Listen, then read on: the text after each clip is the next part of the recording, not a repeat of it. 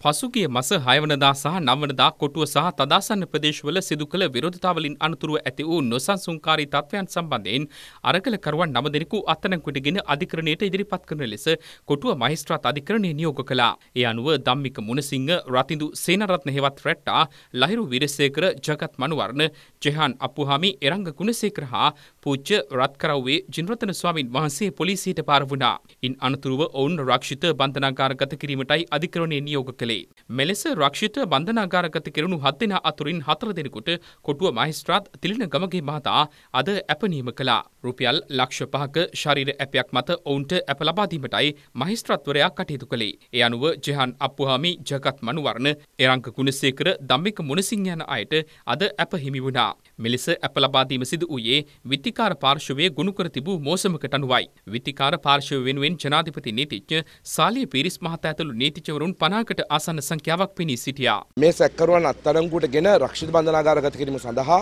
පෙර දිනේදී පොලිසිය විසින් ඉදිරිපත් කළ ලද ප්‍රධාන තර්කය වුණේ පොදු දේපල පනත යටතේ 1,67,000ක අලාභානියක් කරලා තියෙනවා. ඒකෙන් 1,04,000ක අලාභානියක් වෙලා තිබ්බේ ඒ මාවතේ තිබිච්ච පදිකමාරුව වෙනත් තීන්ත යොදාගෙන හානි කරා කියන කාරණය. අද දවසේ නීතිඥවරුන් විසින් විශේෂම නීති තර්කයක් ගොනු කරා මහා මාර්ගවලට කෙරෙන අලාභ සම්බන්ධයෙන් මන්මාවත් පනත යටතටයි ගැනෙන්නේ. ඒක විශේෂ පනතක් හැටියටයි ස්ථාපිත වෙලා තියෙන්නේ. ඒත් සමග පොදු දේපල දේපල පනතට පස්සේ තමයි මන්මාවත් පනත ස්ථාපිත වෙලා තියෙන්නේ. ඒ අනුව විශේෂ පනතකින් ස්ථාපිත කරලා තියෙන වරදක් සම්බන්ධයෙන් ඒ අදාළ පනතේ ප්‍රතිපාදන ප්‍රකාරවයි කටයුතු කරන්න ඕන වෙන්නේ. ඒ අනුව මන්මාවත් පනතේ පැහැදිලිව තියෙනවා යම්කිසි මාර්ගයකට සිද්ධ කරන අලාභයක් සම්බන්ධයෙන් රුපියල් 5000ක දඩයක් කියලා. ඒ අනුව එය පොදු දේපල පනතට වැටෙන්නේ නැහැ කියන තර්කය තමයි ප්‍රධාන වශයෙන් ගෙනාවේ. එය මහේස්ත්‍රාත්තුමා විසින් පිළිගත්තා. ඒත් එක්කම බරපතල ප්‍රශ්නයක් මතුවලා තිබ්බා. ඒ තමයි පොදු දේපල පනත යටතේ සහකාර පොලිස් අධිකාරිවරයා විසින් කරුණු වාර්තා කරලා තිබ්බේ ශ්‍රී ලංකාවේ පොලිස් මූලස්ථානයේ ඉදිරිපිට පදිකමාරුවට මේ අනර්ථය සිද්ධ වෙලා තිබ්බා කියලා. හැබැයි ඒ සම්බන්ධයෙන්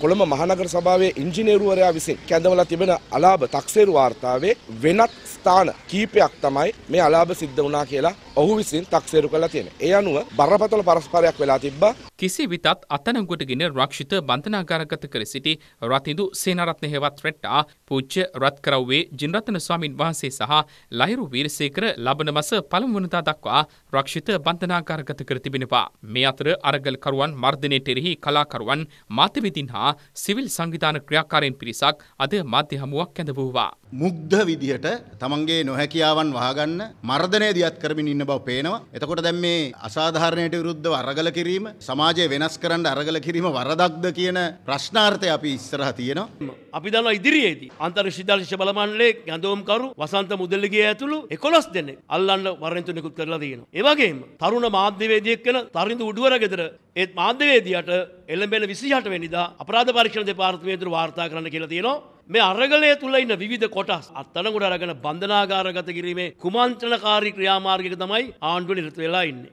අපිට මතකයි රනිල් වික්‍රමසිංහට අමතකයි එයා අගමැති වෙනකොට කිව්වා ගෝටා ගෝගම අරගලය ආරක්ෂා කරනවා ඒ ක්‍රියාදරයෙන් කාටවත් අත තියන්නේ නැහැ කියලා. ඒත් මේ මොහොත වෙනකොට ආණ්ඩුව විසින් ඒ මර්ධනය ක්‍රියාත්මක කරන්න පටන් අරන් තියෙනවා. මේ අරගලය දැන් මේ ඉන්න නායකයින්ට කරදරයක්. ඕව අපි ඒක දන්නවා. විමල් වීරවංශ කියනවා අරගලේ ඉන්න පිස්සු ටිකක්, කුඩුකාරයෝ ටිකක්, කිසිම දැක්මක් නැති මිනිස්සු ටිකක් කියලා. මම ආරාධනා කරනවා ඒ කතා කරපු කෙනාට එන්න අරගලේ ඇතුළට ඇවිල්ලා ප්‍රශ්නයක් තියෙනවා නම් අපි විසඳගමු. එයා කියනවා හරි අමාරුවෙන් එයා හොයාගත්තලු අරගලේ විස්තර. ඔබතුමා අමාරුවෙන් අරගලේ විස්තර හොයන්න ඕනේ නැහැ. අපි අමාරුවෙන් අරගලේ කරගෙන යනවා. මේ අරගලේ ඇතුලේ බොහොම උගත් බුද්ධිමත් මේ රට ගැන බොහොම කැක්කුමක් තියෙන පිරිසක් ඉන්නවා.